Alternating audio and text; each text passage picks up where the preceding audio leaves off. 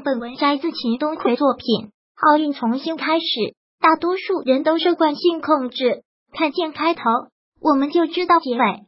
一个老板，也是我和他吃饭的时候，服务员端个菜端错了，他都会大呼小叫，那个真是目中无人呐。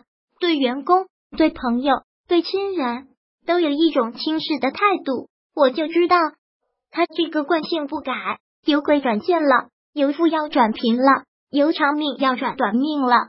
这就是通过一个人的习惯去预测一个人的运气好坏，因为懂得改变惯性的人真的不多，大多数人都受惯性控制。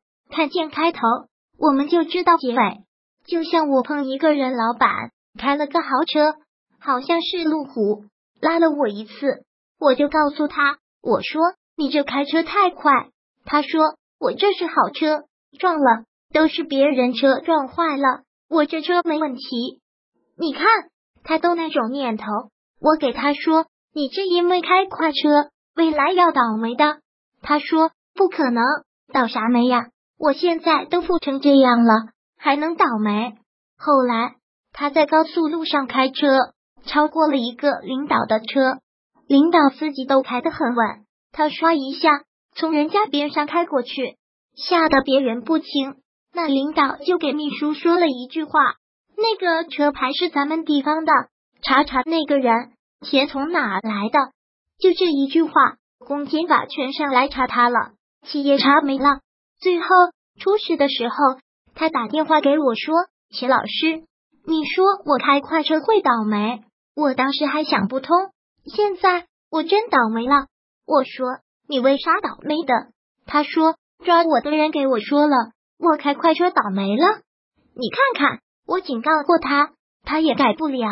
你开个路虎，太张狂了，肯定要得罪很多人，肯定出事呀。判断起来很简单，这领导一想开这么好的车，还那么张狂，一查他又偷税又漏税又行贿的，抓了吧？你看，开快车开的企业没了，开的自己进去了，小小的一个举动呀。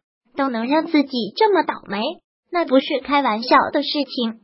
要不我说，古人讲的话啊，没有虚假。六十四卦里所有的卦里面，吉中有凶，凶中有吉，唯独天卦是六爻皆吉。你就知道，作为一个人，你官再高，钱再多，你永远要记着，人上有人，天外有天，不然人家会说，你看那人。张狂的都不知道自己姓什么了，过则受克。你要是张狂过了以后，你自然会被张狂所克。很多人是被自己克死的，真的是这样。人啊，干什么事受什么害。你看，很多人一说我认识某某领导，那领导一被双规，马上把他也抓进去。为啥？你让人家的事吗？你所以就被害了。你以为是好事情啊？不是什么好事情。一个习惯如不刹车，会自己不停重复加强自己。真正成功的人，真正有实力的人，有真材实料的人，我告诉你，他走路的时候脚跟儿一定声音很重，脚梢儿的声音是很轻的。可是呢，虚虚飘飘的爱吹牛的人，你注意，他脚跟儿啊，经常是不着地的，他脚跟的声音轻。他脚上的声音重，为什么？内心是急需啊！他在吹牛的过程中，你去看吧，他一定是五个脚趾头朝下扣着的，怕别人拆穿。所以你在惯性里面就能发现一个人，这里面有道理啊，不是神话。你有没有细心？你细心了以后，一定在他的言行举止中知道这个人未来的富贵或者未来的倒霉，这个是真实的。这就是惯性法则决定的一个习惯，如不刹车，会自己不停重复加强自己，到最后都强大的改不了。所以，我们人呐，一定要懂得观察自己的习惯，要努力把坏习惯扭转过来。在做任何事情的过程中，一定要低调处事，这个是非常重要的。更多秦东奎老师视频音频，请关注一下链接。